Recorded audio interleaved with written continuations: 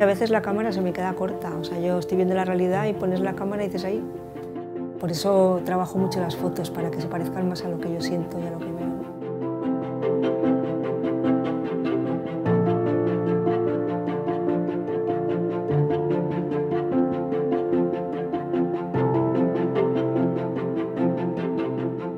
No me gustaba nada el color fotográfico, porque era color fotográfico, no era el color de la realidad. O sea, la realidad no es así, ¿no? No tiene el color que tienen las fotos. Entonces yo perseguía ver en una fotografía más un conjunto de cosas que me llevó a pintar las fotos y a crear un lenguaje muy, muy propio.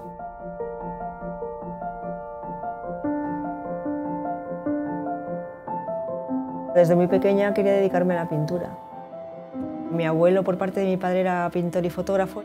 Yo iba a la casa de mis abuelos en verano y, ahí veía, subía a un, piso arriba que estaba su estudio con todo como él lo tenía, ¿no? con sus caballetes, sus paletas, sus cámaras de fotos de madera antiguas.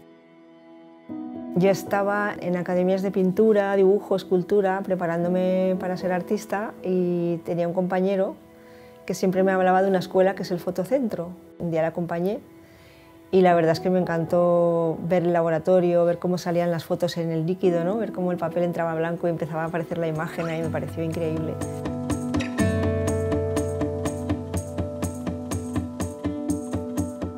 Por allí estaban los que hacían la revista Nueva Lente y eran gente con unas ideas muy claras que querían que la fotografía pudiera ser considerada arte y renovar la fotografía en España.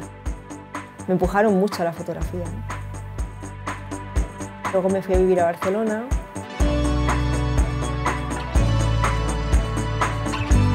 Los primeros trabajos que encontré fueron gracias a la fotografía en revistas y fotos muy, muy icónicas mías. Han sido mecenadas o producidas por revistas como el Penthouse, el Playboy.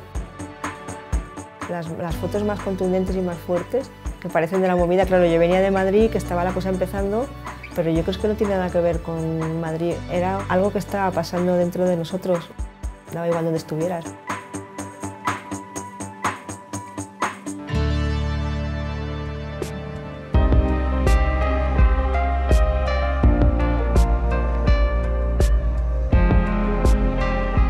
Yo digo que hay fotógrafos cazadores y fotógrafos como agricultores, ¿no?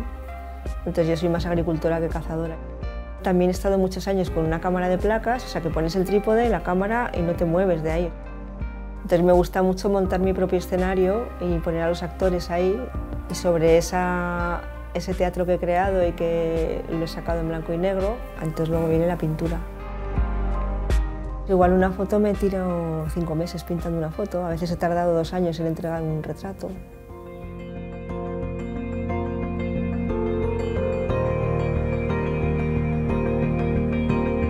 Pienso que la mejor manera de aprender algo es cuando tienes la necesidad de hacerlo. ¿no? Yo con la, fotografía la aprendí mucho preguntando. O sea, cuando veía a alguien que me gustaba cómo lo hacía y decía esos grises cómo los consigue, le preguntaba si podía tener la oportunidad. ¿no?